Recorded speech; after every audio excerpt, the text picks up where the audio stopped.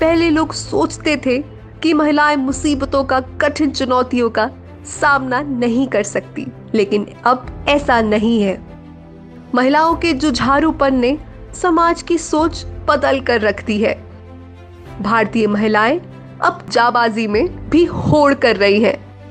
महिलाएँ सुरक्षा की हर ज़िम्मेदारी पूरी दृढ़ता के साथ निभा रही हैं। Bureau of police research and development के मुताबिक पिछले कुछ वर्षों में महिला पुलिस कर्मियों की संख्या डबल हो गई है।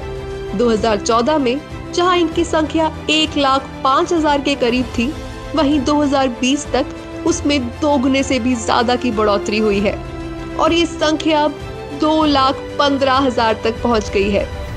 यहाँ तक कि सेंट्रल आर्म्ड पुलिस फोर्सेस में भी पिछले सात सालों में महिलाओं की संख्या लगभग दोगुनी हुई है। महिलाओं की संवेदनशीलता की वजह से भी लोग उन पर ज़्यादा भरोसा करते हैं। हमारी ये महिला पुलिसकर्मी देश की लाखों और बेटियों के लिए भी रोल मॉडल बन रही है।